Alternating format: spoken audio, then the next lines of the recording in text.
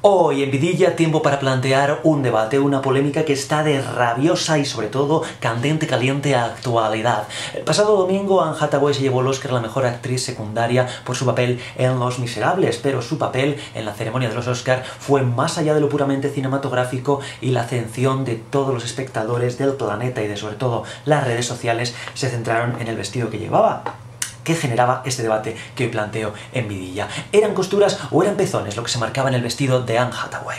A raíz de esa duda que nos asalta, nos asalta el tema interesantísimo de los pezones, o como se llaman en inglés, los nipples, que siempre es una palabra que me ha hecho muchísima gracia porque me recuerda, o podría sonar, o podría titular una serie de dibujos animados infantil, no sé, algo así. Los las aventuras de los nipples. Sí, como esas series que recordamos todos de cuando éramos pequeños, me refiero a los nacidos en los años 70, 80, las historias del abuelo, como por ejemplo los snorkels, que eran vista con el tiempo, una serie un tanto plagio de otras más entrañables y sobre todo más originales como eran las de los pitufos. Ya me estoy yendo por los cerros de Úbeda. O por los cerros de Úbreda, puestos a hablar del tema de los pezones. En el caso de las mujeres, el tema pezón y en el caso de su desnudismo de cintura para arriba es la parte del cuerpo que marca la diferencia entre lo que se puede enseñar y lo que no se puede enseñar. Tú puedes ir a un gran espectáculo de Hollywood o a una gran ceremonia cinematográfica con un vestido súper escotado en el que enseñes las tetacas hasta extremos insospechados. Eso sí, ese centímetro o dos centímetros o tres centímetros o cuatro o cinco centímetros cuadrados que suponen tu pezón no los puedes enseñar ¿Por qué? Porque social y occidentalmente está marcado así. Si los enseñas ya estarías rayando en lo que se llamaría a pornografía vital. Es un poco parecido a lo que pasa con los hombres y el pene, que casi, casi, casi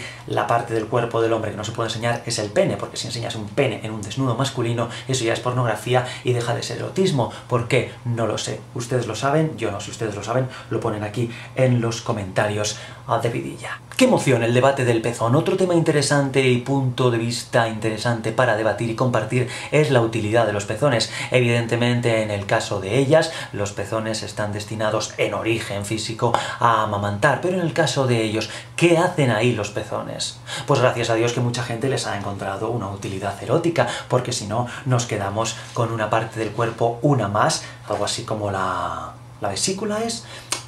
El apéndice y esas partes del cuerpo que son bastante prescindibles y que están ahí por rememoranza de tiempos pasados. La utilidad del erotismo muy práctica, algunos incluso llegan a alcanzar niveles de manipulación pezonil o manipulación nipenal eh, cercanos a la papiroflexia. Uy, como cambio de plano a plano, entre plano y plano y corte, cambio de postura, de emoción, de cara. Vamos, que el récord me lo paso por el forro de los mismísimos. Más o menos como muchas series españolas en los planos contra planos de conversaciones, cuando de repente te fijas cómo está el careto del personaje y empieza... ¡ah!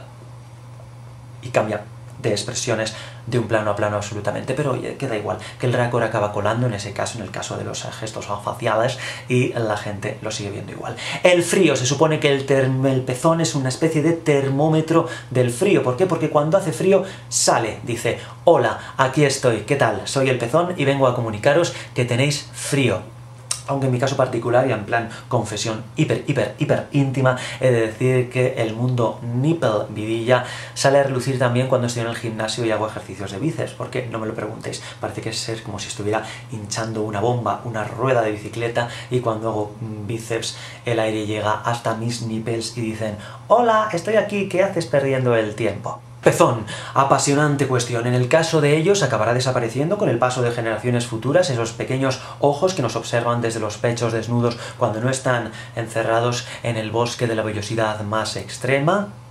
En el caso de ellas, por fin podrán enseñarlos libremente en cualquier sitio, como el caso del amamantamiento prohibido en algunos lugares públicos, como este candente y caliente, el nipple pezón. Nipple pezón, interesante cuestión, hoy en vidilla. Adiós. ha dicho pene.